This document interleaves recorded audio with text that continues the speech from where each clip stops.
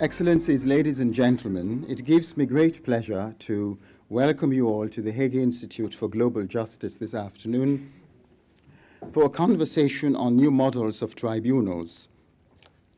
We're delighted to host this event together with the Mechanism for International Criminal Tribunals. I would like to extend an especially warm welcome to our speakers, Judge Theodor Meron, President of the Mechanism for International Criminal Tribunals, Dr. Fidelma Donlon, Registrar of the Kosovo Specialist Chambers, and Professor Carsten Stahn, Chair of International Criminal Law and Global Justice, and Program Director of the Grotius Center for International Legal Studies at Leiden University.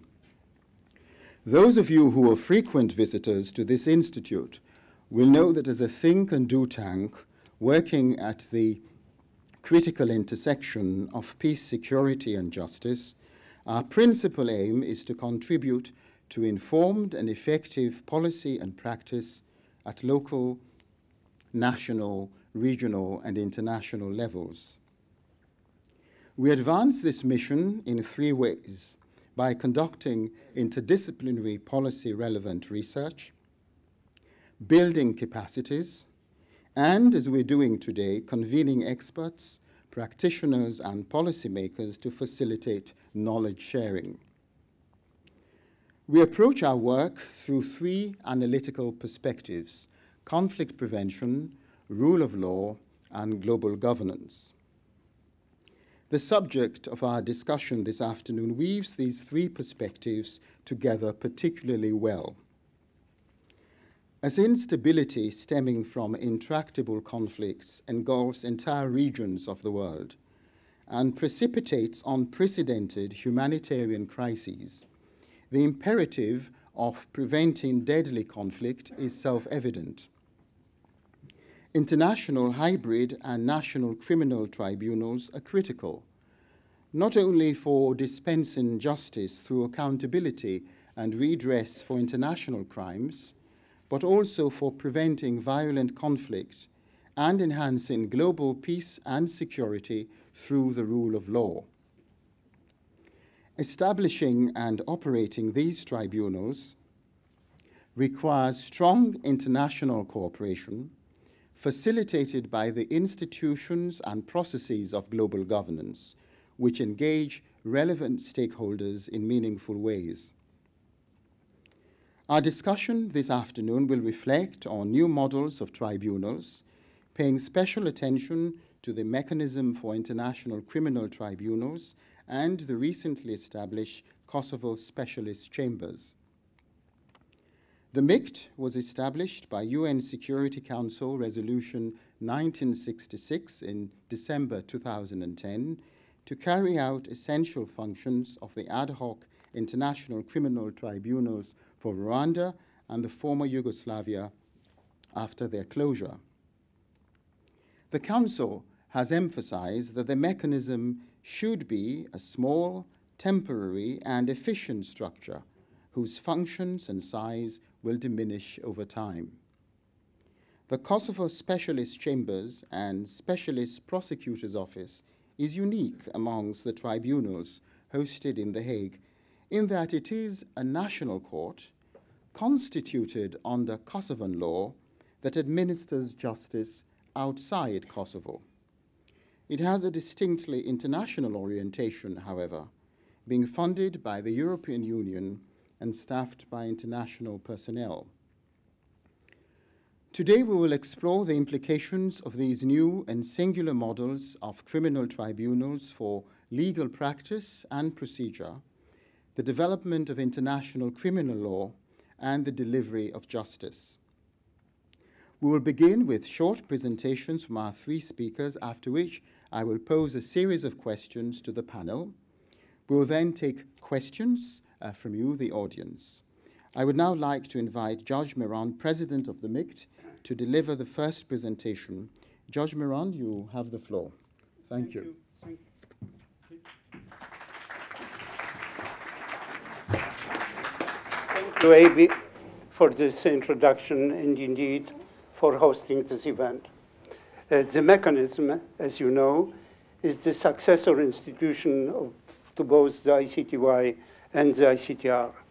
Its establishment in 2010 by the UN Security Council reflected the desire and recognition by the Security Council of the need that there be an ad hoc institution to carry out a number of essential functions of the two tribunals after their closure, functions that were seen as residual or enduring long after the trials and appeals that formed the core of the work of the tribunals would have ended. These functions, as set forth in the founding documents of the mechanism, include tracking remaining fugitives and bringing them to trial, protecting and supporting vulnerable victims and witnesses, providing assistance to national jurisdictions, and preserving and managing the archives of the tribunals.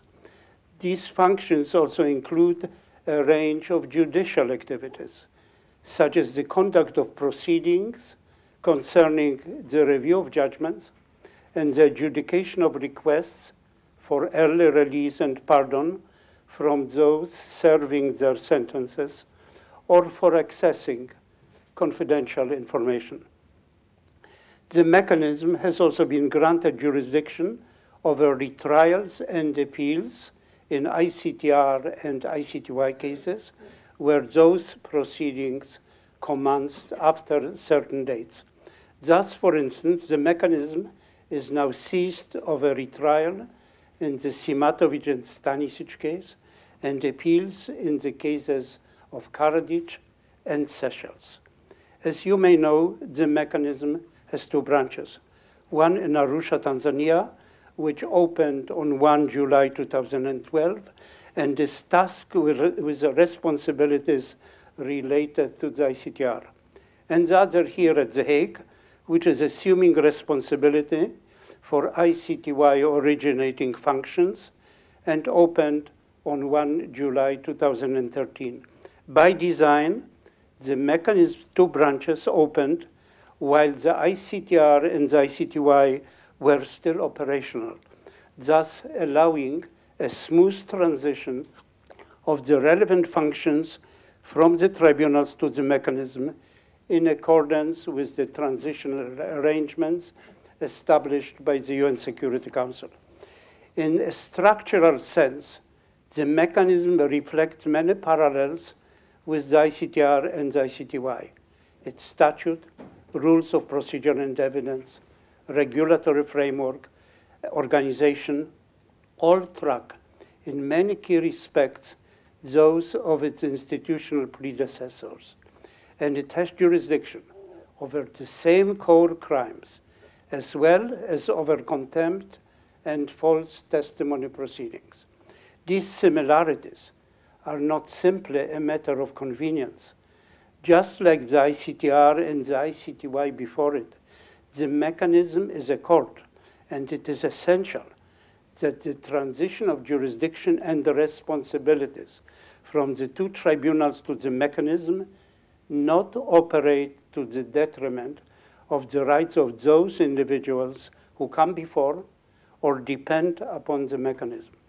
Ensuring full respect for the underlying principle of normative continuity as recognized by the appeals chamber of the mechanism is therefore at the core of much of what we do.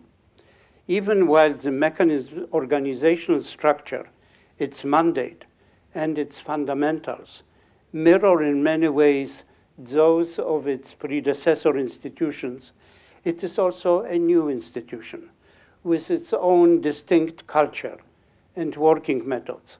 It is an institution that must be able to stand on its own, supported by its own staff and systems, one that has its own institutional identity, and one that, unlike its predecessors, must find a way to bridge two continents, to address the different operational and other needs of each of its locations to reflect the inherent organizational differences of the mechanism as compared from its uh, predecessor, as compared with its predecessors, and to recognize and respect the practices of each of its predecessors in a wide range of areas while developing a unified approach of its own that can be applied equally at both of the two branches.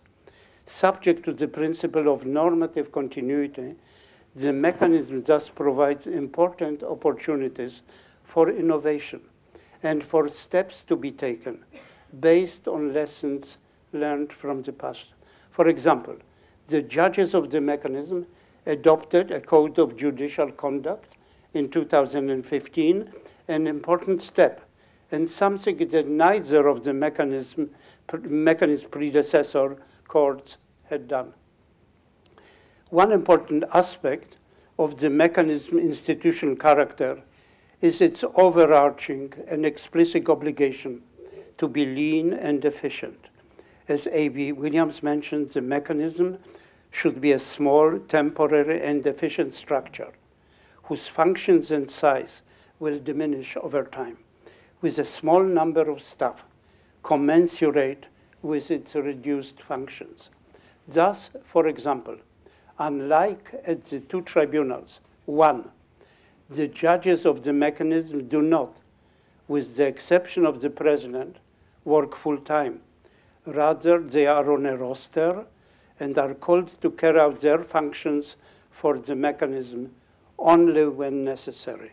Two, while the judges of the ICTR and the ICTY were expected to hold no other positions while serving at the respective tribunal, the judges of the mechanism may hold other full-time jobs even when assigned to major cases at the mechanism. This situation is managed by receiving from the judges a commitment of their availability to complete the case assignments, as well as their affirmation of the absence of any conflict of interest. Three, the judges work remotely from their homes and offices around the world unless they are called to the seat of one of the two branches of the mechanism. Four, plenary meetings of the judges may be conducted not simply in person, but also and importantly by remote written procedure. Five, the judges are remunerated only for those days on which they exercise their functions rather than receiving an annual salary, thus following the ICJ practice for ad hoc judges. Six, with the exception of trials and matters involving the referral of a case to a national jurisdiction, all motions and requests at first instance, as well as trials for contempt of court or false testimony, are handled not by a trial chamber of three judges, as was the case in the ICTR and the ICTY, but by a single judge. Seven, appeals from rulings by a single judge go, in turn, to an appeals chamber panel of three rather than five judges.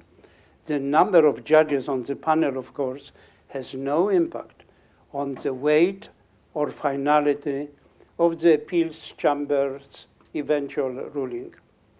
Eight, even where the statute calls for the assignment of a multi-judge panel, significant savings may be achieved as a result of an individual pre-trial or pre-appeal judge carrying out much of the procedural preparatory work for cases, with the full bench for a case involved only where substantive issues arise, while of course remaining abreast of the proceedings in the meantime. These are but a few examples of how the work of the mechanism chambers differs from that of the two tribunals and of the savings and efficiency measures and tools at our disposal. I am confident that if we draw upon the novel structure of the mechanism and the tools given to us, we can ensure greater efficiency and a significant reduction in judicial expenses as compared with the two tribunals. I would be, however, the first to acknowledge that the unique structure given us by the UN Security Council poses certain challenges. Just for example, when dealing with judges who work remotely, we must do our utmost to ensure that geographic distance does not impair the nature and quality of judicial deliberations. We continue to look for new ways to address these and other challenges, including by drawing upon technolo technological developments and identifying and implementing best practices in the field of international justice. But if we succeed in all that we have set out to accomplish, as I believe we shall, the mechanism will be able to stand as a new model of international court, one that is leaner and more efficient, while continuing to meet the highest international standards of due process. And in doing so, it will hopefully give rise to lessons that will benefit other courts, as well as the fight to end impunity for grave violations of international humanitarian law more generally. Thank you. Judge,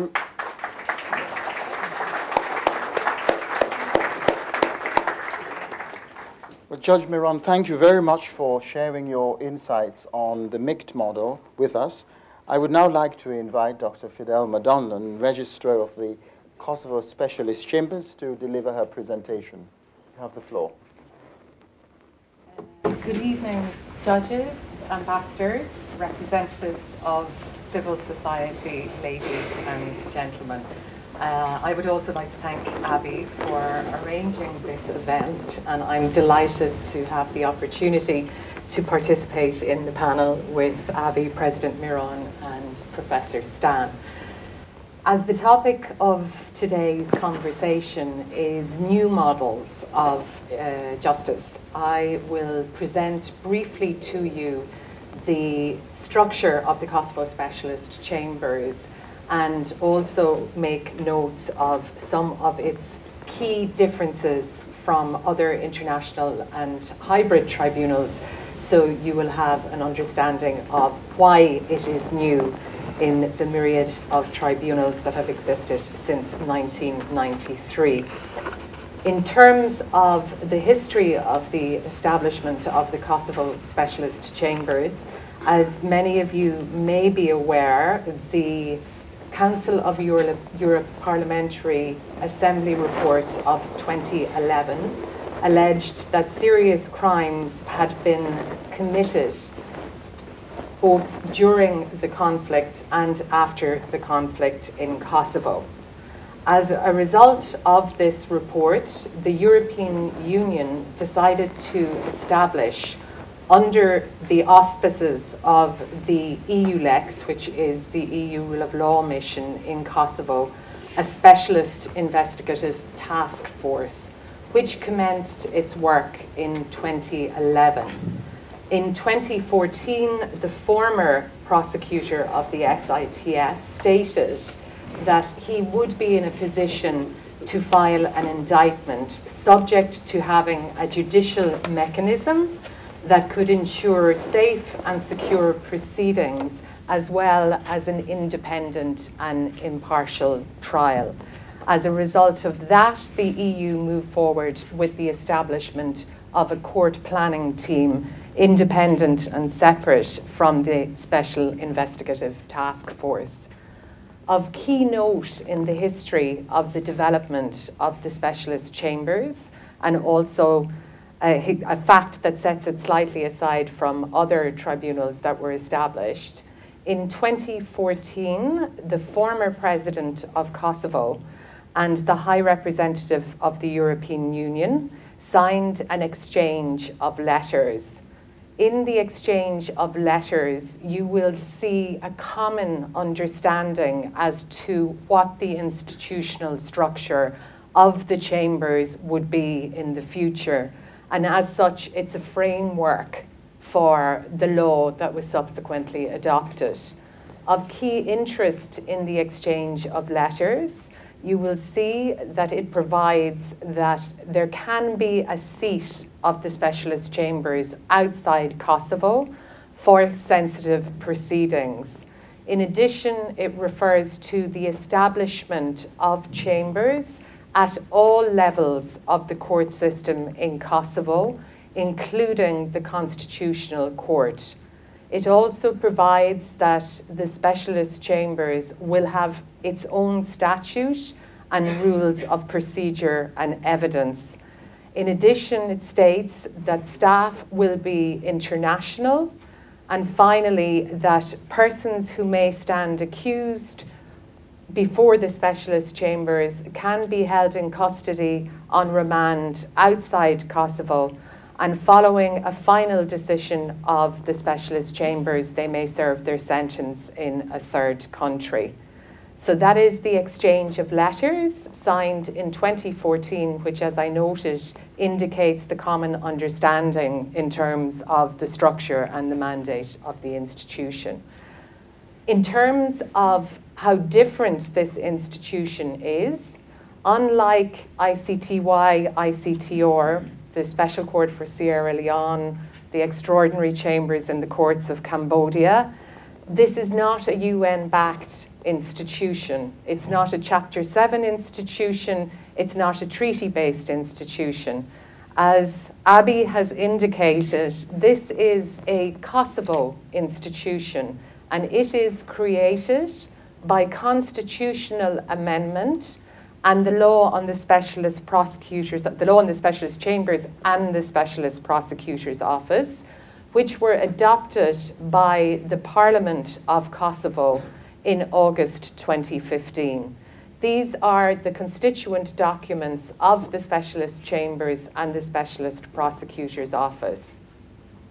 In relation to the mandate of the chambers, as provided by the law, the chambers has jurisdiction over alleged crimes committed from the 1st of January 1998 until the 31st of December of 2000 stemming from the allegations contained in the Council of Europe report.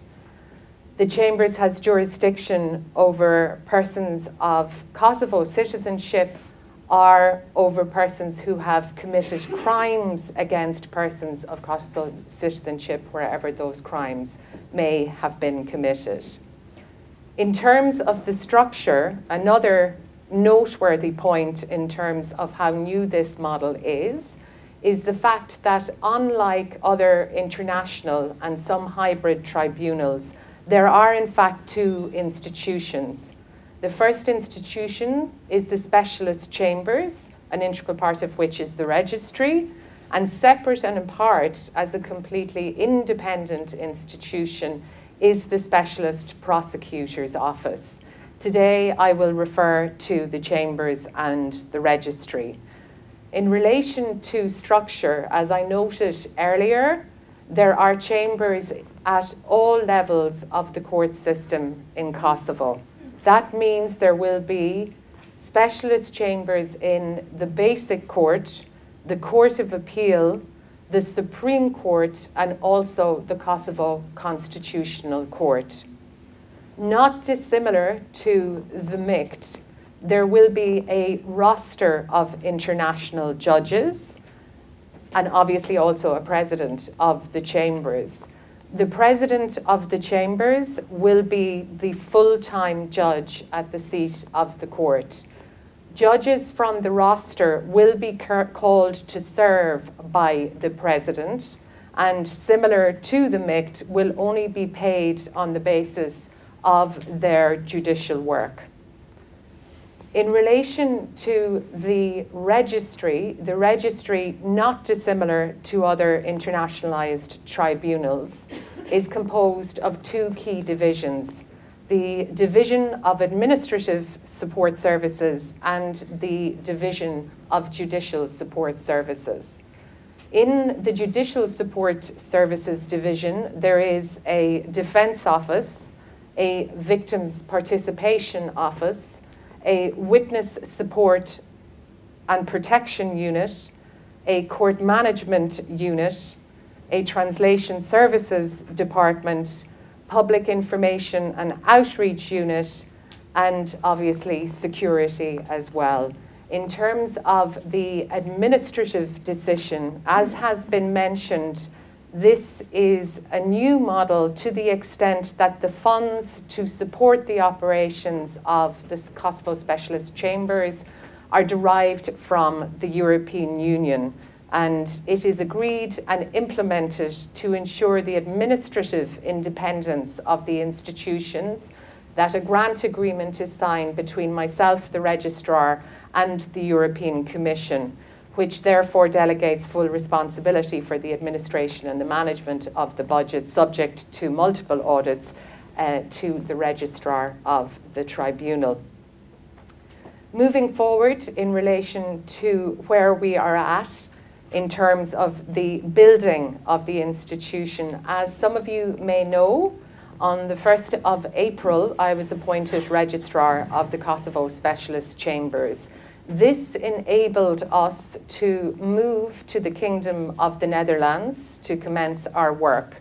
We are currently working in the Kingdom of the Netherlands in accordance with an interim host state agreement the interim host state agreement allows the chambers and the specialist prosecutor's office to carry out all preparatory work required in order to bring us to a point that we can commence judicial activity. In relation to commencing judicial activity in the territory of the Netherlands, we are waiting for the adoption of the host state agreement by the Parliament of the Netherlands. The difference between the interim host state agreement and the host state agreement is that the purpose and scope of the host state agreement entitles us to carry out a criminal jurisdiction on the territory of the Netherlands, which is not dissimilar to other host state agreements for tribunals located in the Netherlands. Uh, in relation to building capacity, as some of you may know, we have commenced with our aggressive recruitment drive and have recently closed a call for contributions seeking over 100 positions so that we can staff both the chambers and the prosecutor's office. In terms of the judges that will be nominated and appointed to the specialist chambers, the law provides that there will be an independent selection panel responsible for the selection and the nomination for appointment of judges. The selection panel has commenced it, its work following the close of the call for nomination of judges on the 9th of September. In addition to the registry, we are fully focused on building the unit responsible for victims' participation and expect in the coming months to be reaching out through our webpage to victims in terms of uh, expressing and explaining to them their right to participate in the proceedings. We will also be finalising all regulations related to the assignment of counsel uh, qualified to appear before the specialist chambers and many other elements of capacity building across the board of the registry. As that capacity building goes on and pending the adoption of the host state agreement, currently our expectation is that in the first half of next year, the chambers will be in a position to commence with judicial proceedings. On that note, I will conclude my remarks and thank you very much for your time this evening.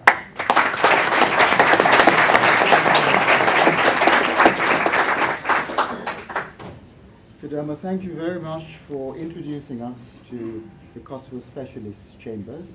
I would now like to invite Professor Carsten Stahn uh, Program Director of the Grotius Center to speak. Carsten, you have the floor.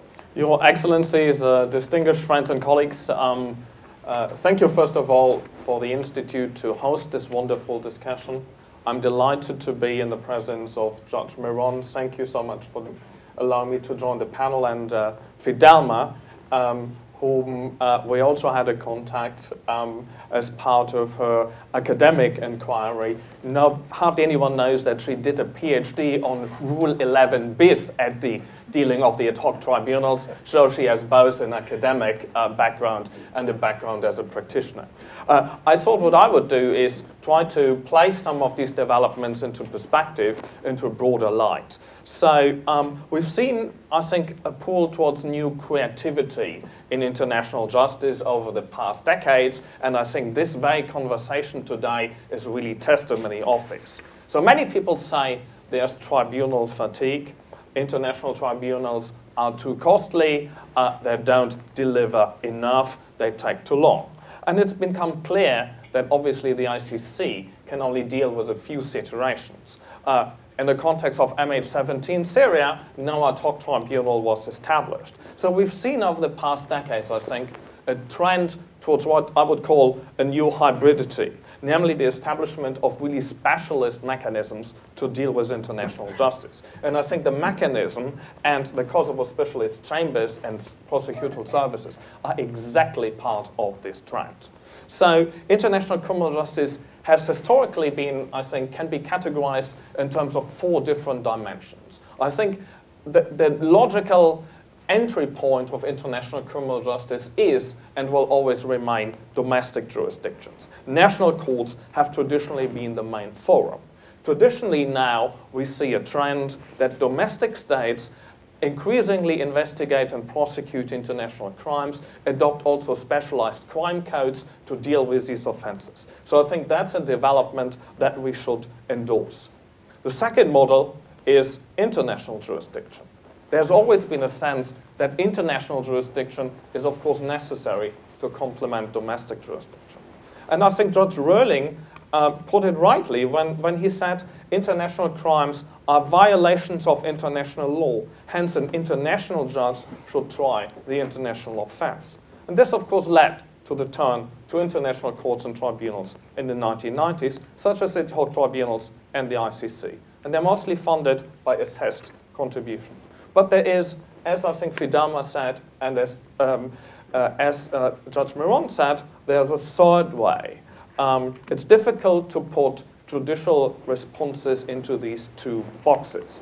Global mechanisms are limited. There's always been a drive for situation-specific and more tailored responses to conflict. And so we've seen the emergence of hybrid models since the 1990s. They're partly a result of concerns relating to the efficiency and cost effectiveness of international justice and the ambition also to make justice, of course, more visible to the local populations. The term hybrid is a rather vague label. It typically combines two elements, the international and the domestic. So hybrid mechanisms try to make the sense of the best of the, of the two worlds, the international and the domestic. Broadly speaking, there are two types of hybrids. On the one hand, there are what one might call so-called hybrid courts, which operate as independent criminal institutions partly outside the domestic jurisdiction. And I think the Special Court for Sierra Leone and the STL, the Special Tribunal for Lebanon, have tended to argue that they are partly international rather than domestic.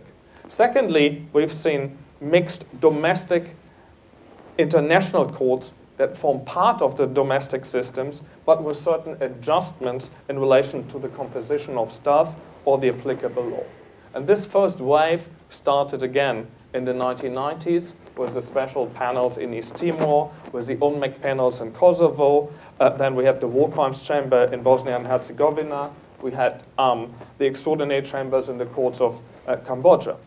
And these entities are funded by a multiplicity of sources, including, of course, voluntary contributions. And currently we see that this model sees a revival in other contexts. the special, um, the uh, Central African Republic adopted the law which foresees the creation of a special criminal court, and it's the first special court that would actually complement ICC action in a specific country. Senegal and the African Union created the extraordinary chambers in the courts of Senegal, which prosecuted President Hissène Habré. And this was the first universal jurisdiction case to proceed in Africa.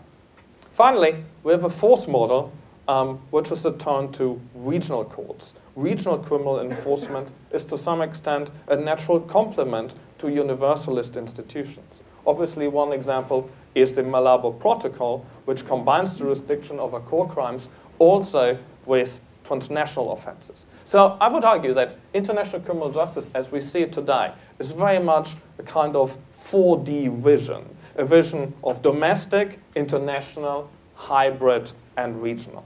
So where does this lead us in relation to our two institutions that we discussed today? I would argue that both of them are variations on the theme.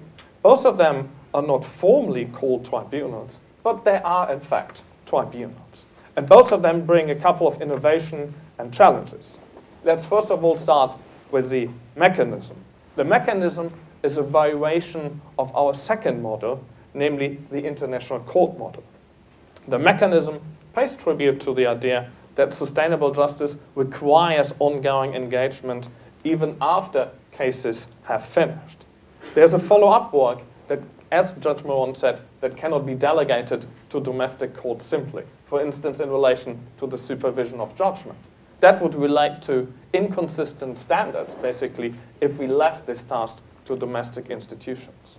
Initially, there was an idea to entrust the ICC as permanent court with certain follow-up issues, but this would have created severe operational difficulties also due to the applicable law. So the solution to create a special, separate entity makes thus much more sense in my view. There's of course one institutional precedent. The Special Court for Sierra Leone was fo also followed up by a successor mechanism, basically the Residual Special Court for Sierra Leone and it deals with victim witness protection, supervision of sentences, management of archives. So this court is to some extent a close precedent in terms of the models of the mechanism. But as Judge Meron explained, I think the mechanism differs. Its function extends beyond these residual functions uh, in relation to tracing of remaining fugitives, hearing of appeals, holding of trials, and contempt cases. So the title, Mechanism, is probably a political understatement. Legally, the mechanism is not simply an annex to the ad hoc tribunals, but really a successor court of its own. It has its own statute, its own rules of procedure, and its own headquarters agreement. So I would agree with the fact that it's actually, to some extent, a new experiment in international criminal justice. It navigates between two poles. On the one hand, the idea of continuity, which is important uh, in relation to the ad hoc tribunals, and on the, on the other hand, the space for innovation. Um, in relation to innovation, we've seen also in the context of other tribunals uh, the practice of, for instance, manuals that facilitate pretrial and pretrial uh, procedure, the opportunity really to learn from the experiences of the past. So I think that this is an opportunity. And I think the example of contempt cases being dealt with, for instance, by a single judge, is an idea that we also see replicated now, for instance, in the International Criminal Court. But of course, the strong pressures to make justice more economical should not come at the price of the quality of justice. Greater efficiency does not always create greater effectiveness. A lean court management model may be efficient in terms of resources, but lack of effectiveness in terms of fairness or quality of the justice process. So lean justice should certainly not turn into cheap justice. This brings me to the Kosovo Specialist Chambers, which are, I think the newest addition to the institutional landscape. And I think, as Fidelma said, the Kosovo Specialist Chamber are a variation to our theme of hybridity. The titles, Specialist Chambers of Kosovo and Specialized Prosecutor's Office, are new labels. They are special because they relate not only to internationalization, but to actually physical relocation. Previous mixed domestic international entities were typically located in the domestic country where they sat. Here they are externalized to The Hague. And this is, I would argue, partly a new construction. Second, the specialist chambers are more or less a replica of all of the domestic levels the basic court, the Court of Appeals, the Supreme Court, and the Constitutional Court. This is something that we hadn't seen previously. So that means a fully separate string of jurisdiction is likely to develop. And this contrasts with the previous idea of mixing international and domestic structures. So we're partly seeing new approach. Third, the chambers are composed of international rather than mixed international domestic judges. So that again points towards an international composition. Fourth, the jurisdiction is composed in a specific way. And I just want to point out that the fact that um, the jurisdiction incorporates not only core crimes, but also transnational crimes, such as human trafficking, is a phenomenon that is new. And I think this connection between international criminal justice, the core crimes, and the transnational crimes will become ever more important in the future. Um, where does this lead us? I think both types of institutions actually bring new challenges. They also provide a new sense of opportunity to actually refine the justice architecture. There's a certain sense of irony. On the one hand, there is tribunal fatigue. On the other hand, the network for enforcement is expanding. So there's a trend towards a new hybridity, or in other words, tribunals are dead, long live tribunals.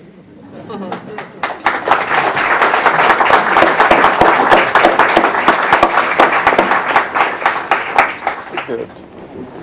Well, um, Carsten, thank you very much for your insights on the broader uh, context of international criminal justice in which these new models of tribunals uh, fit.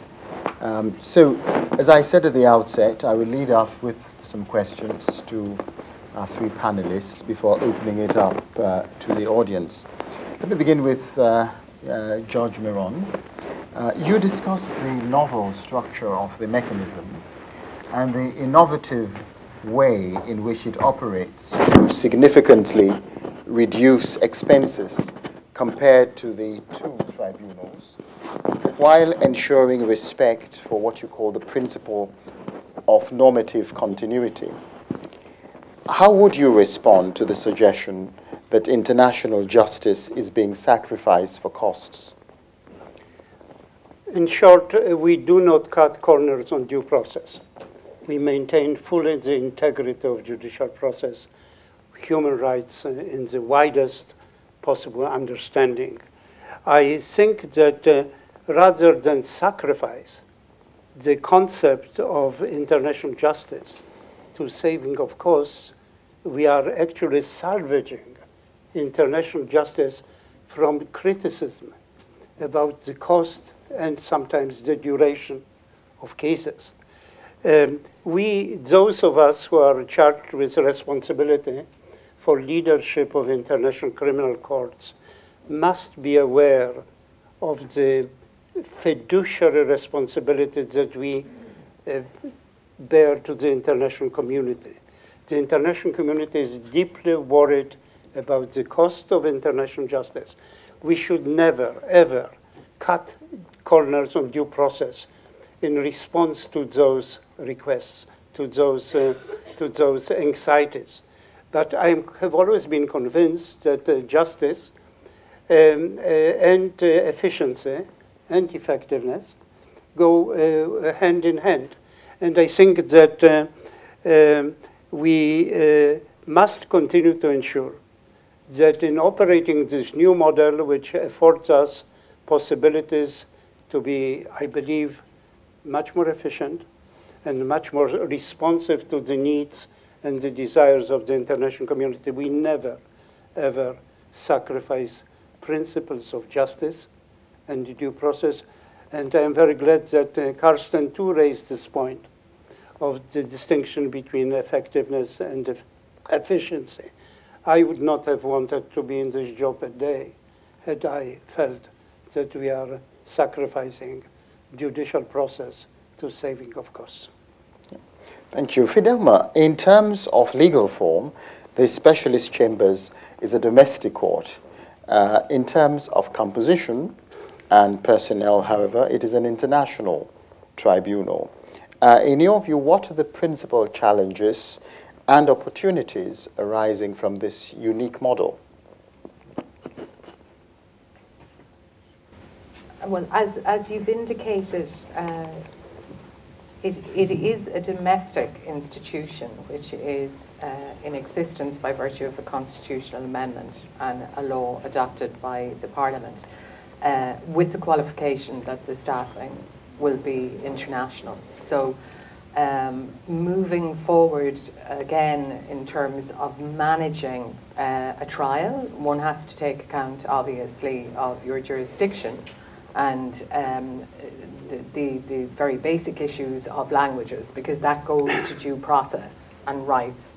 Individuals who stand accused before the court need to be able to have the charges in a language that they understand, but also the entire way through proceedings. So, in terms of where we stand at the moment, not dissimilar to other institutions that have managed uh, complex litigation in multiple language, we have to build that capacity in the institution, and we have to ensure that the official languages of the courts, which are Serbian, Albanian, and English, will be available, as well as all materials will be available in those languages so that we can communicate to the greater public.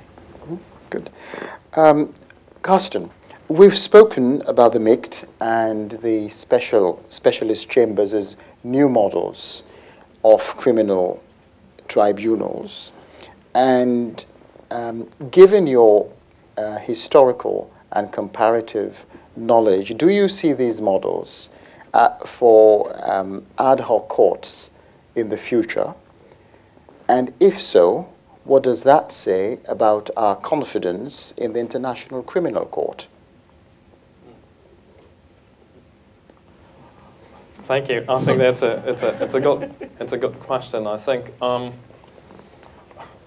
let's first of all to to turn to the sort of the MICT. I think the important insight that we've gained is, I think, over the past decades, that the closure of cases does not mean that you leave a sustainable record in a situation, but you need to invest into what happens after the closure of cases. So I very much welcome the idea that there's a separate mechanism which deals with some of these functions. I think some of this might be missing in the ICC context, where situations might be closed without any sustainable follow-up action except complementarity. So there, I think there's something for the ICC to learn from the practice of these mechanisms, also from the practice of the Special Court um, uh, for Sierra Leone. So um, in relation uh, to, I think, the, um, the Kosovo court, I think um, this again is, I think, here we're really pioneering new ground because we really have an entire strand of a judicial order being fully externalized and, and internationalized. So, and obviously, the, the Kosovo law is already highly complex. The Kosovo legal order is determined by UN resolutions, by a lot of body of international law.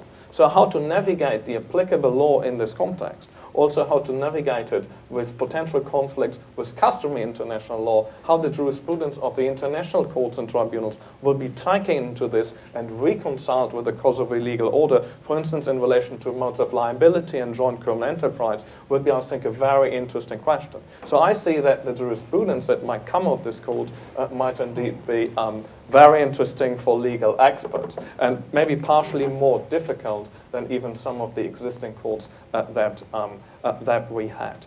So um, I still think Kosovo is a unique case in terms of internationalization because of its history, because of the UN involvement. So um, I don't think the Kosovo scenario would be replicated necessarily like this in other contexts. Uh, but I think, again, it's a new model, it's a, it's a new interesting thought about how to organize hybridity. Mm -hmm. Come back to, to Ted. Uh, given the resources invested in establishing the mechanism, which you've, you've mentioned, is there potential for it to take on additional functions or responsibilities uh, if mandated by the Security Council? Uh, for instance, could it take over the residual, residual functions of other courts or tribunals, or could it be granted jurisdiction to try cases for a new conflict if the ICC or, or, or another body could not uh, ensure accountability? I, I think that the short answer to this question is yes. Yes to both. Um, the assumption or the caveat for both would be that the United Nations Security Council, acting under Chapter 7, would amend the statute of the mechanism. It is true indeed that the international community, the Security Council member states and others have made tremendous investments in establishing the mechanism. I think it, uh, this means that we are all duty bound to find ways of making, uh, utilizing to the best possible way, in a maximalist way, this new institution that has been established. And your question really um, is separated into two. The first, the possibility to, um, to give MICT additional, um, um, additional competences with regard to residual mechanisms. Uh, I think we could do that, but we must, it's only fair to remember that the institutions which uh, might be interested in us taking over some of those residual functions, each of them has its own governing instruments, its own problems of normative continuity. And therefore, it seems to me that the best kind of model to apply here would be to have, an, um, to have MICT act as a sort of an umbrella institution for, mechanism, for residual mechanisms.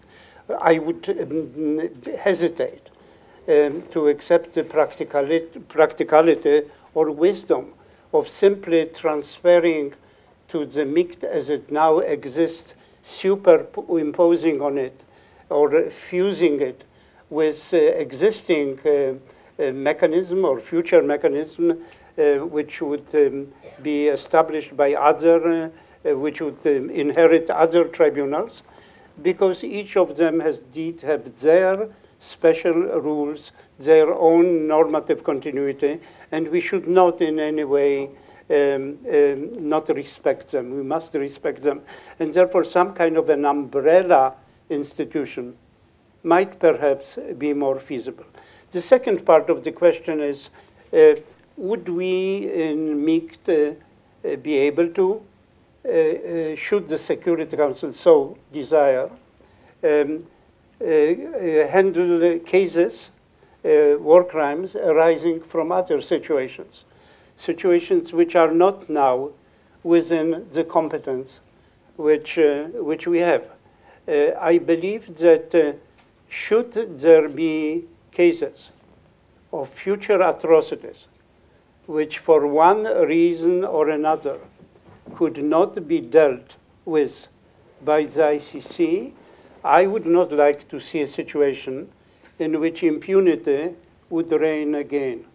And I believe that with our uh, roster of 25 judges, with our existing uh, facilities, both at The Hague and in Africa, we would be able, should the Security Council so want, without going to the expense and the problems of establishing new courts, we could accept additional uh, additional uh, cases, again, on the assumption that, this, that the ICC would not be able, either for reasons of jurisdiction or for reason of resources, deal with those cases. I don't think we are talking about any situation of competition between the courts. Our view must be uh, holistic. The Statute of Rome did not want just to establish an international criminal court, it wanted to establish a new universe of international criminal justice. There is, if we look at the number of atrocities that continue to be committed unabated in all parts of the world, I do not be, I do believe strongly that there is room for more than just one court to deal with that, and that the alternative of impunity is just not acceptable. Uh, Fidelma, um, as you know, uh, The Hague has a unique constellation of of courts and tribunals, international courts. Now we have a national court um, based here. As the Kosovo Specialist Chambers embarks on its challenging mission, how do you see, uh, how do you foresee cooperation with other criminal justice mechanisms in The Hague?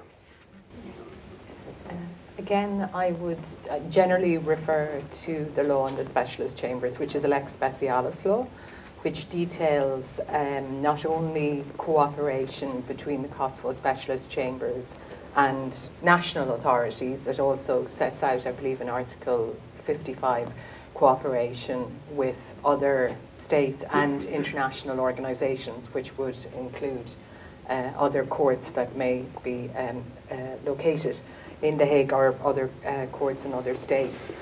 Uh, with consideration of the question, I, I, can potentially foresee in the future that um, there may be a time where uh, defence counsel or other parties before the court may want to approach the MICT in terms of access to your archives um, in relation to perhaps some materials that have uh, been before the ICTY and now are in the custody of the MICT. And similar, I, th- I believe, to the residual special court for Sierra Leone, but I refer this legal opinion to the expert, President Meron.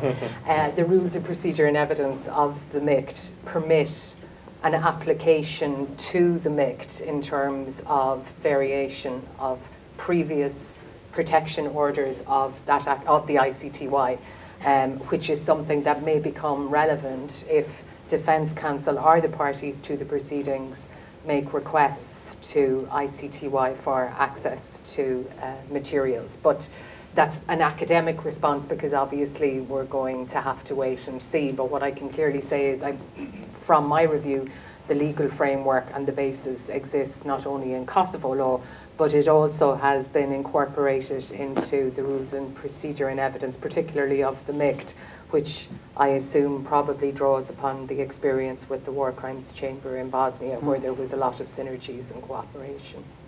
Good, thank you. Thanks. Carsten, as we've heard from Ted and, and Fidelma, one of the distinctive elements of the MICT, which will be replicated at the Kosovo Specialist Chambers, is that its judges are expected, as far as possible, to work remotely. Since you are not affiliated with these two uh, institutions, uh, how, does, how do you think that affects a chamber's decision making process? And does this modus operandi affect the likelihood of the judges' equal participation in reaching the final decision? Thank you for uh, for wonderful uh, question. Um, I think the, uh, the deliberations of international uh, decisions uh, is uh, partly a secrecy and partly an open fact uh, to, to all of us. Um, so I think it's extremely important, as Judge Meron said, that if deliberations are held remotely, that they still facilitate a proper discourse. it's obviously very important, and I think based on my own reading, many of the judgments are collective products rather than individual products, which emerge basically through the work of entire teams. And what is needed and very crucial is that there's a proper exchange and that also obviously um, other opinions are taken into account uh, so that um, there is not uh, clearly a lack of deliberations as we've seen. I think sometimes we've seen in the history of international criminal justice too easily judgments moving into dissents without trying to actually engage in meaningful, uh, meaningful deliberation first. And I think that's a tendency which I think is dangerous and which compromises the quality of justice. So I think, as Judge Meron said, on some occasions it might be necessary potentially to bring all of the judges here in order to facilitate also a personal discourse. And I hope that this would also be facilitated by the resources uh, of the MICT. Could I add a word to that? Sure. Of course, we should not forget that in this new universe of uh, working remotely, a lot of work is actually somewhat below the radar. Um, uh, virtually hundreds of judicial orders deal with, uh, for example, variation of protective measures which, um, uh, under the new statute, are of course handled by single judges. When you have uh, things done by single judges, the problem of deliberations is not uh, terribly relevant. But um, coming to cases where, um, well, even their uh, communications are important, and we provide uh, expertise in chambers, in the staff, to help judges with that. But beyond that, when you have cases which require uh, panels uh, of three or five, as the case, as the case may be, um, uh, and we know that appeals from a single judge go to panels of three instead of five. Appeals uh, from judgments go to panels, panels of five. Uh, when we come to those uh, panels, um, we have to draw on modern technology to make the um, dimension of deliberations as real as possible. We can have, uh, depending on the decision of the presiding judge, it's a question of judicial independence. You can have audio conferences, you can have video conferences, you can have discussions of um, discussions uh, um, um, facilitated by the staff. You can have exchanges on the telephone. All of that works, and it will work. And moreover, when it comes to principal trials and appeals, we, our full expectation is that after the preparatory stages, judges will be called by the presiding judge to come to The Hague or to Arusha, as the case may be. And in this context, of course, we will have something approaching traditional, full, face-to-face deliberations. The one important thing in this new universe of working remotely, we must make sure that the dimension of exchanges between, between judges, challenges made by one judge to another judge and to the panel are fully preserved and made very much alive. Well, thank you very much. I think now um, we should open it up to questions from you, the audience. I'm sure you'd wish to engage with our three panelists. Because we have a full house today, and I want to get in as many questions as possible, I'll take it in, in sets of, of threes. Do make the, the questions short and, and to the point so we can get many in, and you can just give your name and institutional affiliation. We have a roving um, mic. Um, Hassan? Yes?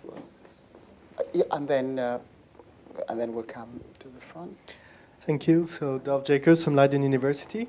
Thank you for this uh, very nice conversation. So, as you said, to keep it short, I just wanted to mention, for the consideration of the panel, three elephants in the room. Um, the first one is we're talking about the domestic court from the beginning, which obviously raises the question about the legal status of Kosovo as a state.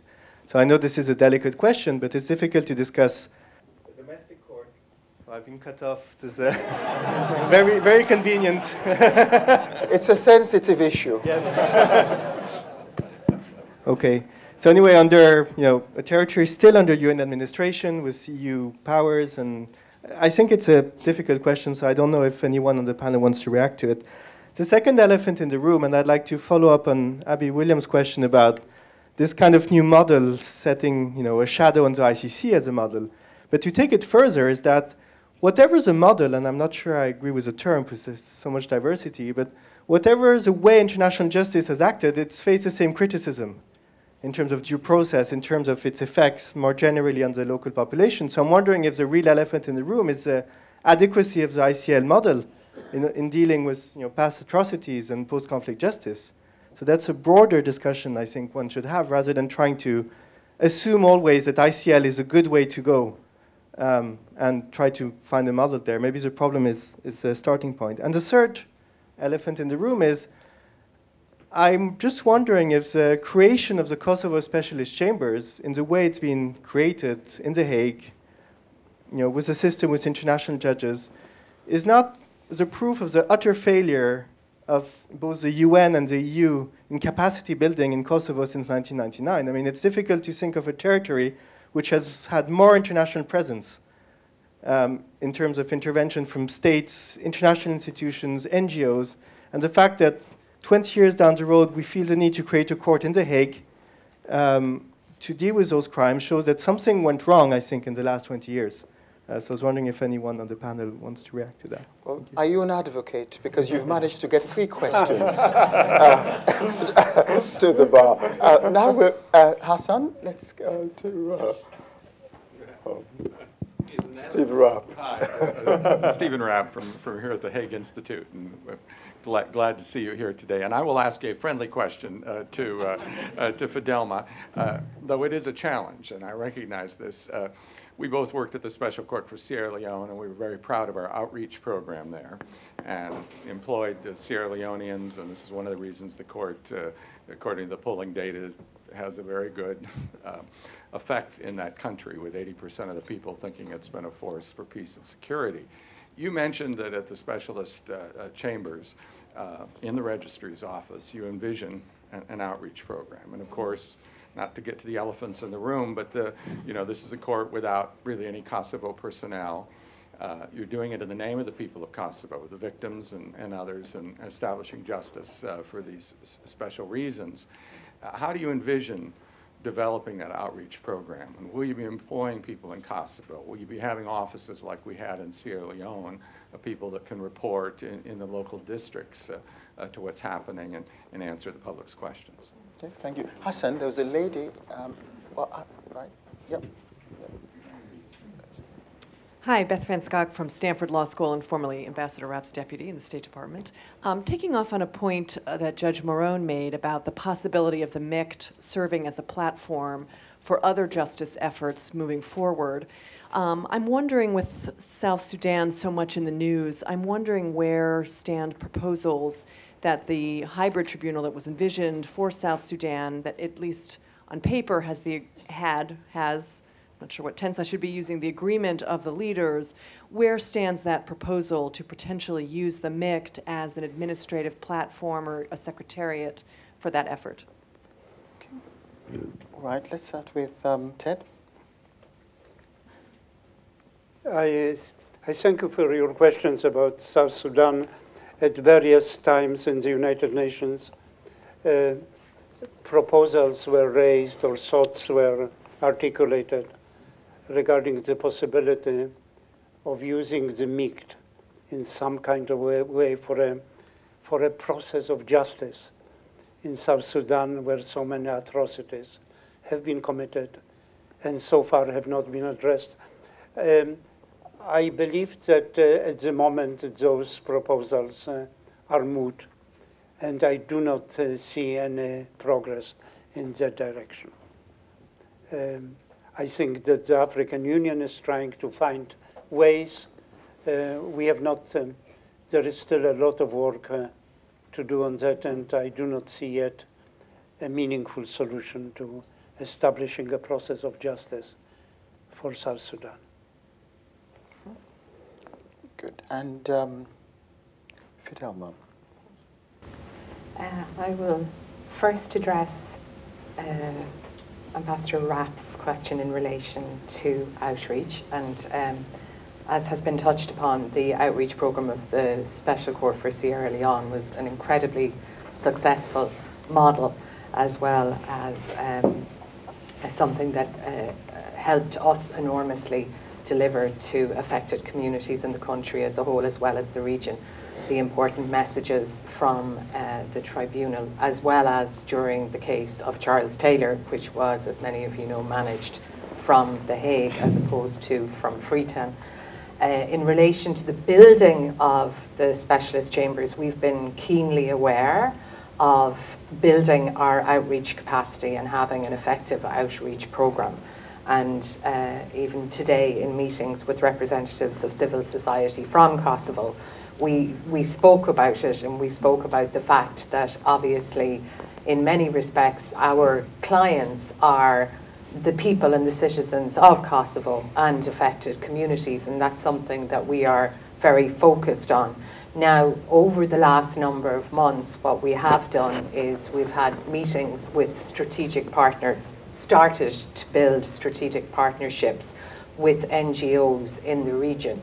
our intent in the coming months is to strengthen those relationships and partnerships and effectively build a network of support around the institution so that we, through our partners, can be present in the country. We're also looking to hopefully hosting an outreach mm. event mm. at some point early next year within the region. Um, in relation to planning for um, a, a, a, a, system similar to Sierra Leone, as we all know, every country is different in terms of the environment that we operate in.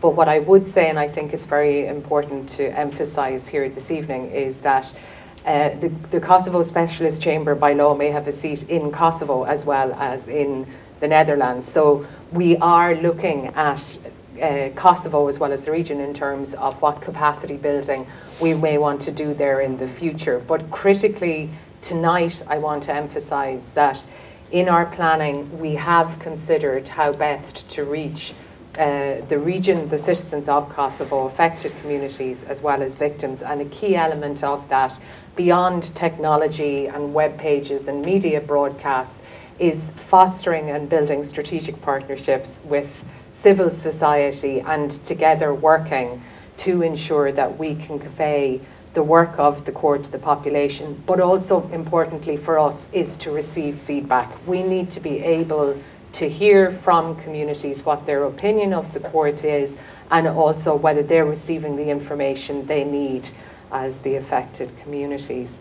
Uh, next, I will move to Dov's many elephants. I sincerely hope he doesn't consider me one of them. Um, but I'm delighted we have a big room because, as I'm sure some of you know, Dove is an excellent academic who's wonderful at delivering elephants to various different forums. so, to work backwards in terms of your, uh, your exploration stroke question about. Um, the international in inter intervention in uh, Kosovo and is the, the Chamber's uh, reflection of failure. Um, I, I would say that you look at it in a different way, which is basically it's a continuation of the international assistance that has been rendered to Kosovo. And I'd also point towards Bosnia and Herzegovina. Bosnia, uh, obviously, the ICTY was established by the UN it was functional for many, many years before there was a decision by both the Bosnian Parliament and the international community to develop the War Crimes Chamber, which started to function in late 2005 and then achieved considerable results.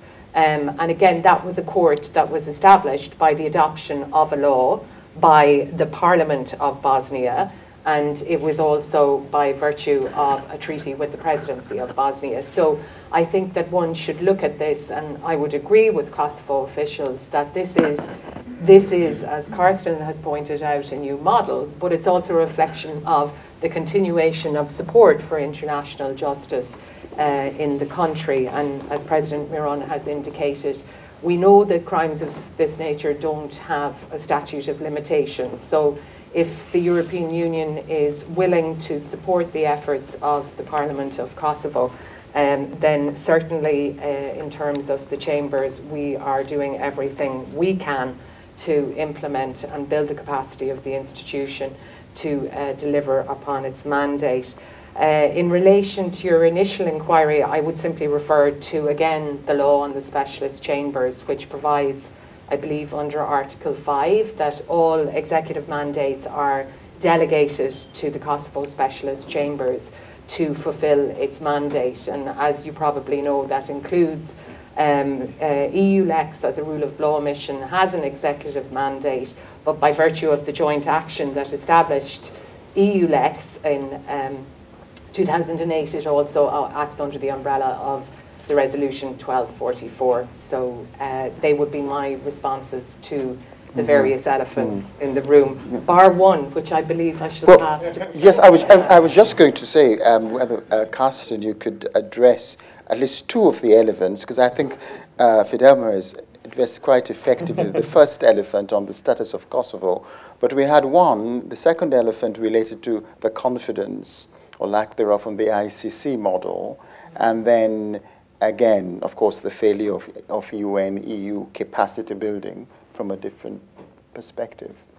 But okay, I don't know how many elephants uh, I can uh, uh, remove. Um, but let me um, start by bringing in one aspect I think which is important um, relating to the Kosovo Specialist Chambers is obviously that um, it might be focused on one, one side, a certain side of the conflict. So in relation to perception issue and basically engaging with affected populations, that will, I think, uh, be very crucial, I think, to develop a credible outreach program. And particularly also the witness protection issues, I think, will of course, um, uh, will of course um, uh, be key. Uh, in relation to um, to the um, uh, status issue. Um, uh, as you know, we have a divided um, house of opinion in relation to, uh, uh to the status um, of Kosovo. Um, but in relation to, um, obviously, each entity is free to set up its own judicial mechanisms. Basically, I mean, there has been uh, of course, the, the, the, precedents basically of the EULEX uh, structures, basically, and then the uh, former UNMIK panels. So there are precedents obviously leading um, to, um, uh, to the Kosovo specialist chambers. So I would find it very strange if Kosovo as an entity would lack the competence, basically, to agree to such judicial institutions. We simply wouldn't have I think, uh, uh, much of a credible, much of a credible alternative. obviously, um, also we have the ICJ um, advisory opinion. Um, so, um, so I think there's a sufficient line of practice, um, I think, which would allow the issue to be to be addressed. in relation to uh, to the ICC, I think uh, obviously the ICC has already a, a, very full docket, and I don't think that the ICC will uh, take on uh, uh, many more situations um, in, in the future. So I would regard this, this trend towards decentralization and towards actually further hybrid mechanisms basically as an asset rather than as a weakness of the existing system. Let's take an another round of questions. Yes, Hassan, welcome to. David Re, uh, judge at the Special Tribunal for Lebanon. Um, elephantine, perhaps this question, to Fidelma and Carsten. I note the absence of national judges in the um, structure. Fidelma, um, could you tell us the policy reason for that? And Carsten, good thing or bad thing? Okay, thank you. And then I think the ambassador of Chile. Uh, uh. Thank you for giving me the floor. Yes, it, it would be a diplomatic question. It's, uh, it's uh, uh, about the possible challenges to the jurisdiction of the uh, Kosovo Specialist Chambers. challenges founded on, on the reasons such, such as the lack of agreement with the UN, or states uh, that do not recognize the jurisdiction of, of this tribunal because of the lack of, lack of recognition of the state and so on. I, am not passing a judgment on the, on the validity or not. It's uh, just a question of clarification to understand the process. Okay. And we'll just stay on that side, Hassan. I see a, a, a, at the back, white. So it's Arlinda Rustemi from Leiden University. I have two questions. Uh, one question relates to Carsten's uh, remark about the victims. So I would like uh, to ask uh, Ms. Uh, Fidelma Donlon whether she thinks that uh, SDK can provide the protection of the, the witnesses in this case. Because there's like a bad record, like with the past courts, like on protection of the witnesses um, how you're going to deal with that. And the second question relates also with Dov's question, like there was a high rejection of the SDK from the beginning, like on the ground. There were demonstrations before uh, the law has been passed. So locally, it seems like the court has started with a bad food. So how you're going to deal with that perception as well? Thank okay. you. Thank you. Um, Fidelma, why don't I start with you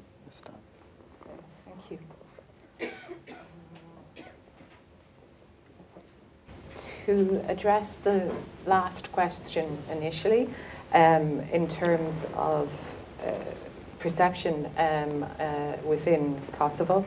Uh, again, as I've indicated, not dissimilar to, um, I believe, any other institution. Uh, it's extremely important that we convey our message to the public and build public confidence in the institution that is being built. And uh, the, the fact is that this is at, we're at an implementation stage at the moment. And as noted earlier, we will have a robust outreach programme. However, I would like to re-emphasise once again that the law on the specialist chambers and the constitutional amendment was adopted by two-thirds members of the Kosovo Parliament. So uh, you referred to demonstrations. I will refer to the adoption of the constitutional amendment and the law by a two-third majority of Parliament and again, as officials have stated, it was the will of the Parliament. In relation to witness protection for now, what I will say is that um, through our planning phase and obviously in, in our implementation phase, uh, I've noted that the registry will have a witness protection and support unit. Uh, you'll see that by law we are uh, authorised and empowered to have that unit impose any measures of protection that may be needed to ensure the security and well-being of persons who testify by the court or others who may be at risk on account of their testimony. I would also draw your attention to um, our ability to deal in addition with vulnerable witnesses. So in addition to protective measures, there will also be uh, appropriate counselling services and support services as may be required. And then, uh, again, in accordance with the constitutional amendment and the law, the judges of the chambers are authorised to adopt the rules of procedure and evidence. The law provides that upon their appointment, uh, they will proceed with um, the adoption of the rules of procedure and evidence. So I would expect that, um, not dissimilar to other institutions, that the judicial protective measures will be enshrined within the rules of procedure and evidence. And I would actually refer you again to the law on the chambers because what's interesting, if you examine the law, there are elements of domestic law that are referred to in the Lex Specialis law, and one of them is in fact the chapter in the domestic law on measures that judges can order for the protection of witnesses. So at this point I can tell you that that will include voice distortion, face distortion and potential video conference link for witnesses to the courtroom. To move on to the question from the ambassador, I can only uh, once again return to my response to Dov's inquiry, which is that Article 5 of the law on the specialist chambers provides that all executive mandates shall be delegated to the Kosovo specialist chambers. We uh, have a mandate that is under the auspices of the EULEX executive mandate and in respect to the executive mandate of EULEX, I refer to the joint action of 2008 establishing the mission which clearly stipulates that, it, uh, the, that the UN and the EU have agreed that the mission will operate under the umbrella of Resolution 1244.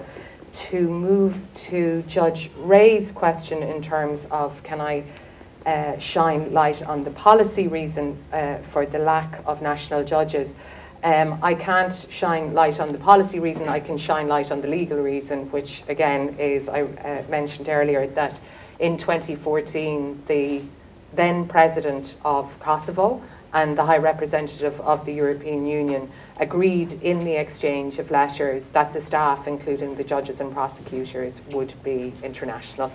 Uh, but perhaps Carsten okay. can. Carsten, uh, good or bad thing? On his opinion. Judge Re?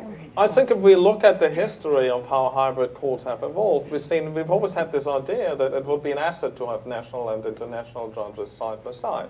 We had it in the UNMIK panels, we had it in East Timor basically, we had it in the different forums. So this is really, I think, as Judge Re said, a departure from existing um, from existing precedents. So um, obviously, um, there, might be, there might be irreversible policy reasons, but I see one of the dangers of that approach is that we might have basically a parallel track of jurisprudence, of international jurisprudence developing, in addition basically then to the other courts. So I think there needs to be, I think, an additional layer of, uh, I think, um, judicial um, dialogue and, uh, uh, and, um, and conversation.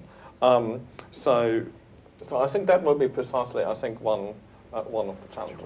May I? Um, all right, Follow- uh, just Fidelma? jump in on a, Yes. question, a follow-up to Carsten, sure. please, if I may. Yeah. Sure. Uh, sorry, audience, but I'd like to just uh, jump in on this because y- y- you mentioned that uh, your concern of an, an international thread of jurisprudence, but the fact of the matter is that uh, these are national institutions that have internationals participating in them. So previously we've seen other international models where we've had a majority of the panel being international.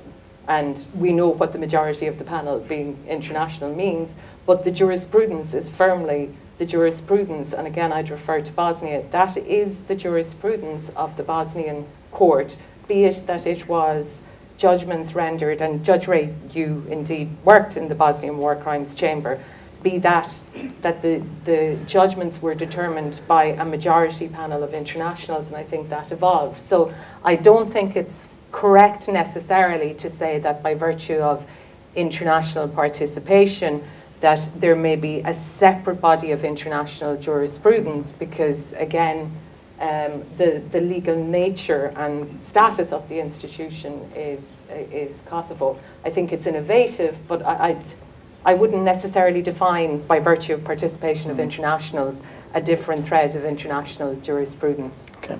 Thank you very much. I know uh, I would Ted, like you to make come a more general comment, if I may, AB, about the absolute necessity for effective systems of protection of uh, witnesses.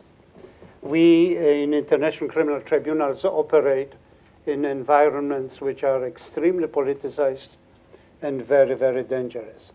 Cases in which uh, witnesses have been intimidated or worse, physically attacked, or their families have been subjected to physical attack are not exceptional.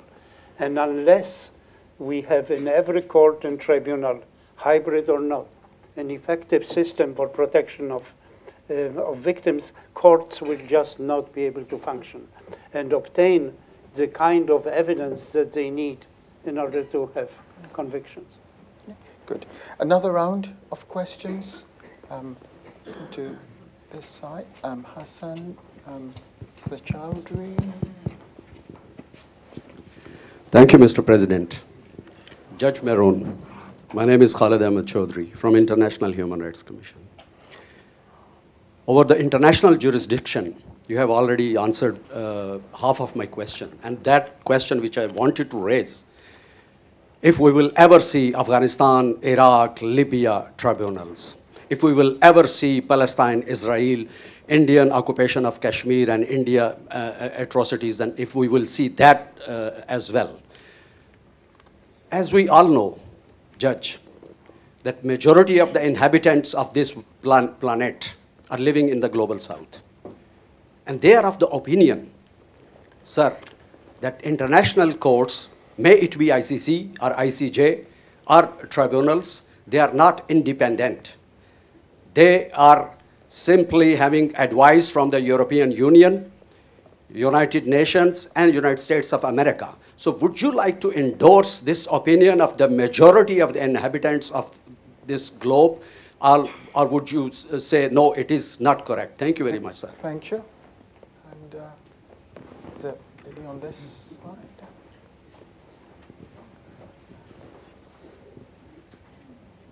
Hello, um, I'm from Syria Legal Network, NL, and my question is to the judge. Uh, in your opinion, uh, to what extent can we apply the MICT on the Syrian conflict? Thank you. Okay, thank you. Well, that was right to the point. Um, and Hassan, the li- yeah. Thank you. Uh, Mohamed Bangura from the Residual Special Court for Sierra Leone. First, I must uh, say that uh, it's heartening that um, in these discussions there's been due recognition of the fact that um, the special court is also in a residual phase. Uh, I think that was uh, first uh, highlighted by Dr. Uh, um, Stahn, and then indirectly in the question that was posed to President Meron by Dr. Williams. I want to take it on from on that question that the one about the scope, possible scope of the MICT to uh, cover a wider uh, functions, wider functions, especially to do with other uh, residual mechanisms. First of all, it is uh, known by perhaps some of you, not everyone, that already the MICT, uh, the ICTY, is providing some amount of uh, support to the special court uh, where physical uh, location is in the uh, ICTY building, but I wanted to know whether there is in fact the possibility of wider scope of the support which we currently get from the uh, ICTY or the MICT uh, in terms of um, beefing up our operations at the ICSL. Okay, very good. Let's take a, fourth. I see the ambassador of, of Mex Mexico, and then uh, um, turn it to the panel. Thank you. Uh, uh, considering that uh, it has been said that the uh, chambers of uh, Kosovo is going to be a domestic tribunal with international judges, if I understood well. Perhaps we have to keep in mind that in a very uh, separate region of the world, in Latin America, and here is Ana Cristina Rodriguez from Guatemala, we have an institution that is a very interesting one, which is the Commission Against Impunity in Guatemala, which is being a prosecutor with international prosecutors, but working and applying domestic law, which is the, the law of, uh, of the land, the law of Guatemala, and they are supporting the prosecutors in Guatemala, but they are international although applying the domestic law. I saw that because I was the ambassador there when it was born. And it's a very interesting institution that is working well. Ana Cristina is from Guatemala. I'm, not, I'm, from Mexico, but perhaps you can say if it is working well or not.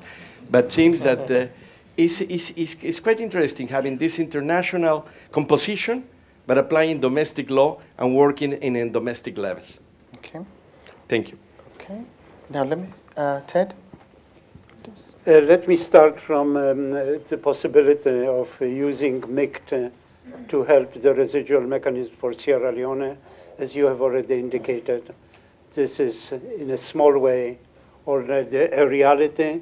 We in the, our building, uh, which I think has become really iconic already for The Hague and for Europe, we house uh, the residual mechanism uh, for Sierra Leone, and we are very happy to do so when questions arise in the future of lending additional assistance to Sierra Leone, we'd be happy to do so, subject to the um, guidance and mandate we have from the United Nations Security Council. Coming to the, one of the critical questions of international criminal justice, selectivity, let me start by saying that uh, rule of law really abhors selectivity. It is based on equal application of the law. And none of us uh, likes the situation in which situations like Syria or, uh, and others are still not subject to an effective process um, of international criminal justice. Um, this is, however, of course, a political question. It is up to the United Nations and the Security Council to create those institutions. It is not us in the tribunals, it's not us to the judges. Uh, I'm glad that Ambassador Rapp is here, and I'm quite sure that during his tenure as uh, U.S. ambassador in charge of war crimes, he did all he could in order to uh, reduce selectivity and produce a greater dimension of universality for international criminal justice. Um, I think that uh, we cannot resolve this. Great powers can. The Security Council can. uh, African Union can. Indeed, the African Union has been dealing in various ways with uh, establishment of justice for South Sudan. So far, it has not come to, that process has not come yet to fruition. The second question that you have asked was the question of judicial independence. Um, here, uh, my view is very, very clear. Whether uh, we are uh, judges uh, who have been established under uh, uh, Chapter 7 procedures and we are paid United Nations salary, or judges in the Specialist Court for Kosovo, if I may include you in my generalization, who will be paid salaries from the, coming from the European Union, whether whatever the source of funds or the sort of mixed uh, Lebanon, International Voluntary Contribution Funds as in the STL, I am quite convinced that judges work independently. And any comments which from time to time are made gratuitously regarding independence of judges have to be rejected totally. I have not seen a single case in my experience, where judges who have not been entirely independent, just as in law-observing countries, judges are independent in the domestic sense. Fidelma, any? Thank you. Uh, I, I, was uh, listening very carefully to the Mexican ambassador's um, comments in relation to the Commission in Guatemala, and it's one that uh, over the years has, uh, I've certainly had the opportunity to read about it. Um, I think your, your indication, and, and your colleague who's here as well, that the, structurally it's, it's a model where it's national together with international supporting a process. That's very familiar of the Bosnian War Crimes Chamber, where the methodology used in that particular chamber was that internationals were recruited for a period of time to support our Bosnian colleagues in terms of building the institution, or where there was a gap, where skill sets had to be developed, and then the internationals departed. Um, in terms of the Kosovo model, as I've indicated previously, the uh, exchange of letters indicate that it will be international staff. It's a different model, as Carsten has pointed out. It's innovative. I think in years to come, then we'll be able to properly reflect on its legacy and, as you indicated, how, how does it function? Um, at this juncture, we can't say how it will function, but I think certainly, and I hope Abi will invite us back in years to come, that um, we'll, we'll, we'll move in the direction of looking at results and also discussing a topic that I know is dear to Professor Stahn's uh, written work, um, the, uh, the impact and the legacy of the model that's now been chosen for this particular set of chambers. Okay. Carsten, any thoughts?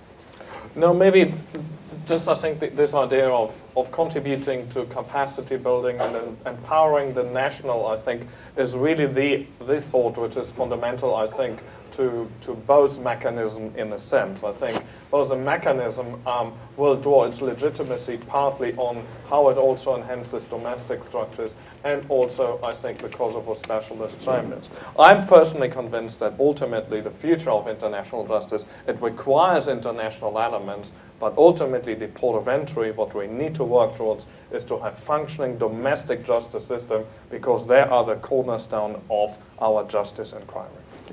Yes. I entirely agree, and more and more, uh, the more I work in this field of international criminal justice, I am convinced that the future lies in the in national courts, national, sometimes regional courts.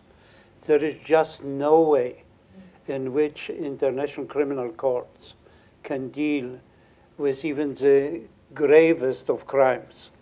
We don't have the capacity we need, in order for international criminal justice, for criminal justice, for justice to be effective, we need states to be much more involved, to be much more engaged. But there is a very interesting synergy, I think, between international criminal justice and national justice. Take, for example, criminalization of rape. The fact is that uh, in our case law, such uh, in cases such as uh, Kunarak, uh, Akayesu, etc., we have established uh, legal principles which for the first time were general, uh, capable of being applied by states, and we created, for example, for the first time, definition of what rape is, definitions of uh, sexual violence. Those definitions and our role, uh, work on, for example, on modes of liability, form the model that national courts can draw on.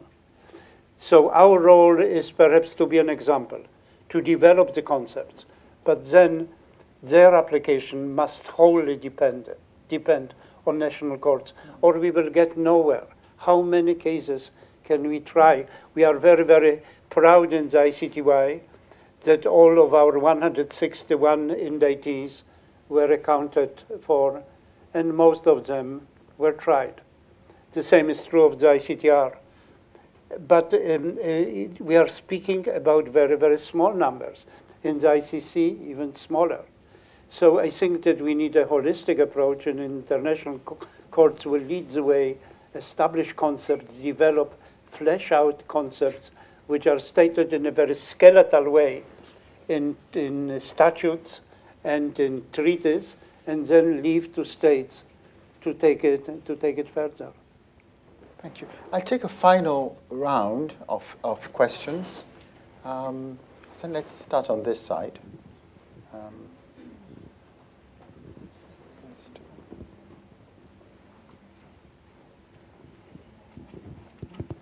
Thank you. My name is uh, Ivan Waltenberg. I'm from the Special Tribunal for Lebanon.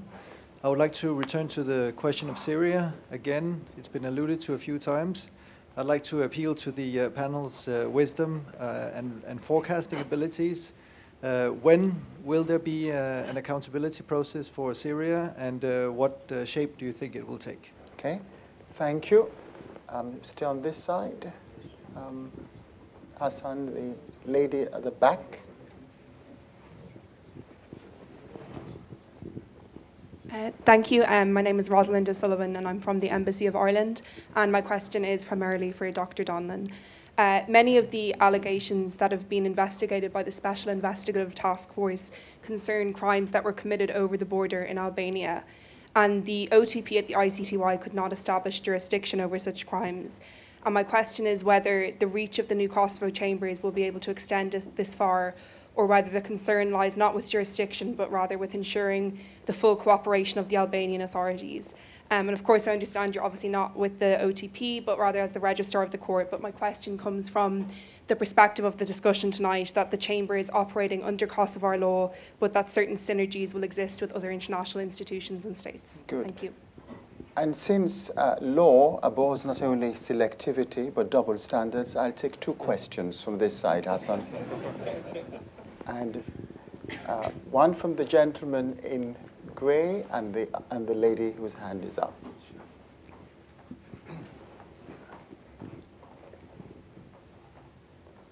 Well, good afternoon. My name is Nenad Maksimovic. I'm rep representing Center for Peace and Tolerance from Kosovo. So, apart from ex extending hand for the for the future cooperation in communication strategy with civil society and media in Kosovo. And I have a question for you. So, is establishment of the core special court for, for Kosovo in some way recognition that that the UNMIK and then Kosovo authorities and ICTY, as well as the EULEX mission in Kosovo, have failed to address the war crimes in Kosovo? And to properly prosecute the senior members of the KLA, and why not? Okay. Thank you. Thank you. And the final question? Hi. I'm Diana Goff from the Clingendael Institute and formerly with the ICTY, ICTR, and SCSL. Um, I was struck, uh, President Meron, by what you were saying about the feedback loop between the international tribunals and domestic jurisdictions and also with what you were saying, Fidelma, about the um, sort of innovative thinking in uh, systems and new models.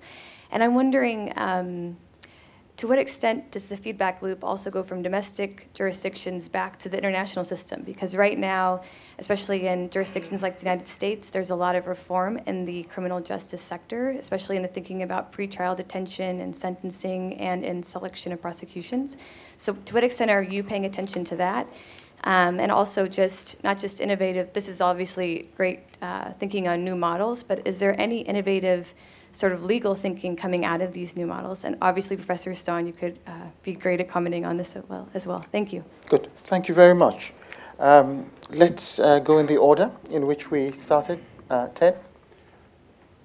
I think that uh, it is, uh, while the, the most more practical proposition at the moment is for domestic courts to draw upon international jurisprudence, which has been created over the last two decades or so.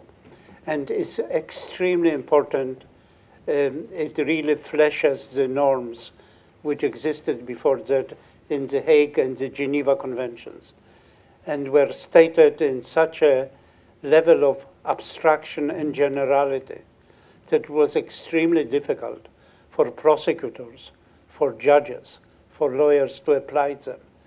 This was somewhat uh, resolved in the ICC by elements of crimes. In the tribunals, we did not go that way, but our jurisprudence provides very much an equivalence of that.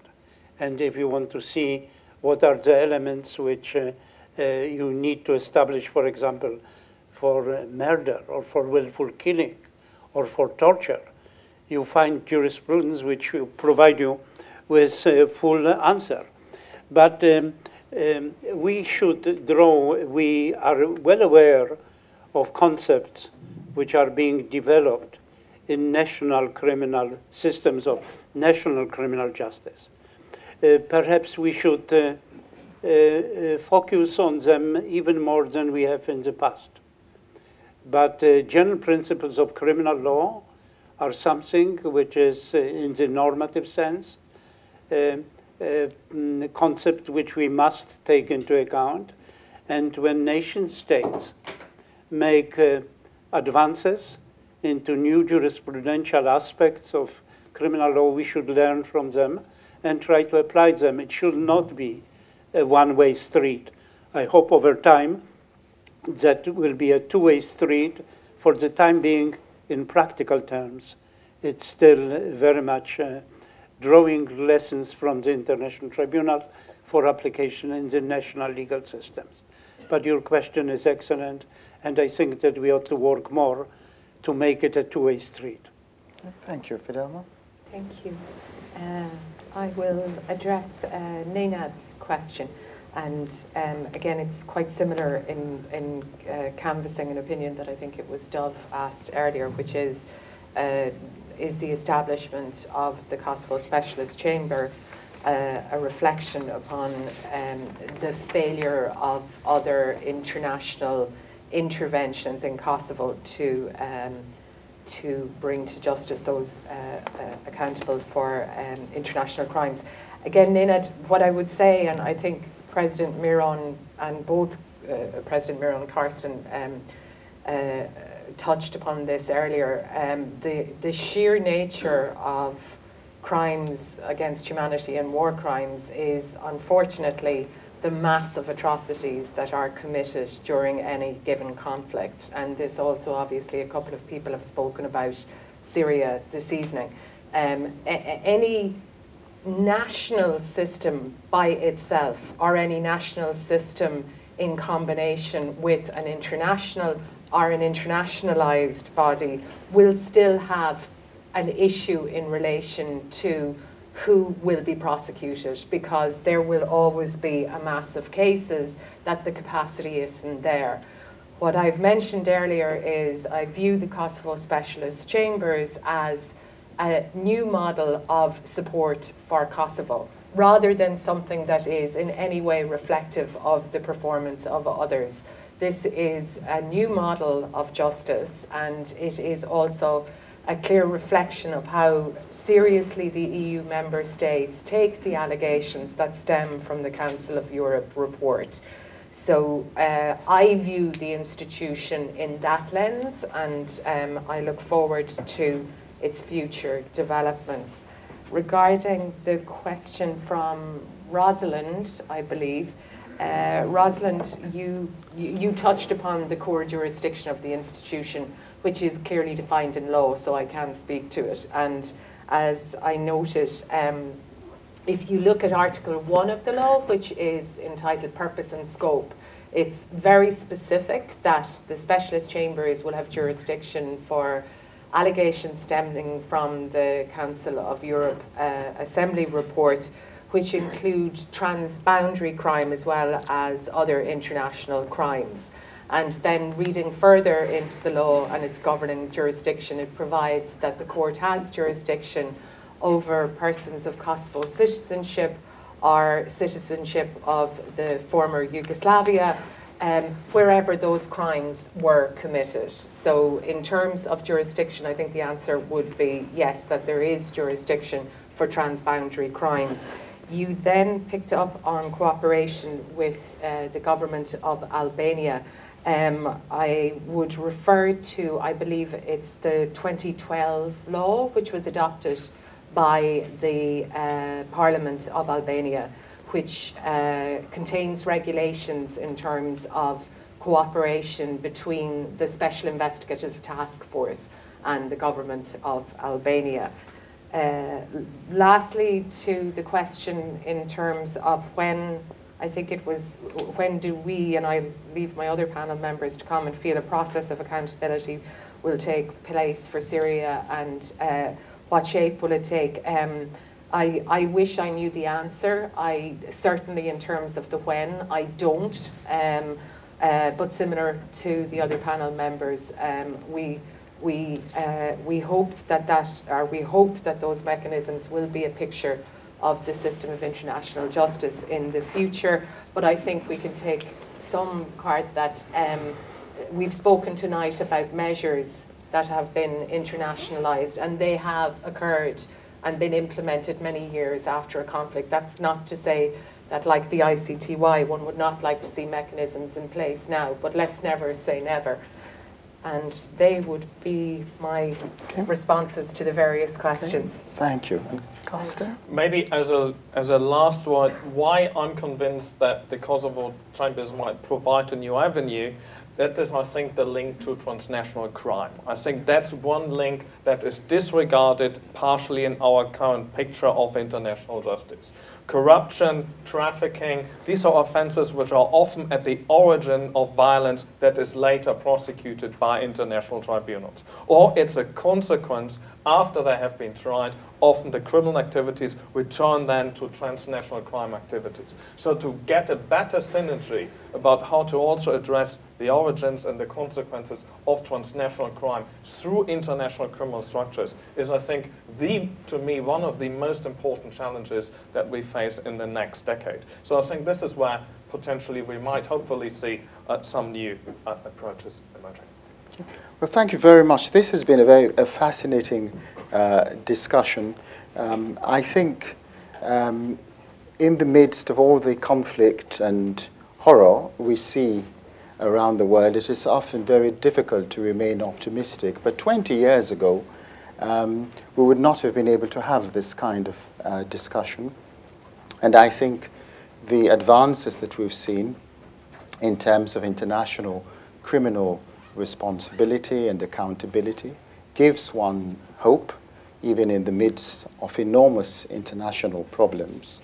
But clearly, as the questions we've had relating to Syria have highlighted, there is a lot of work uh, which has to be done, and it's an unfinished product and project. And finally, of course, it highlights uh, that there is a link between uh, what happens in the international legal field and politics, notably in New York.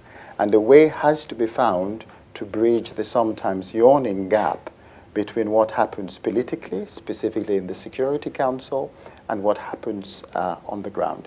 It remains now, of course, for me to, to thank uh, Ted and Fidelma and Carsten for being with us this afternoon. A critical function of the Hague Institute, as I said at the outset, is to perform this convening role of bringing experts and policymakers and practitioners. And we look forward to having another round uh, when the work of the uh, um, specialist chambers and the MICT have been uh, more advanced. So jo uh, please join me in thanking the panelists.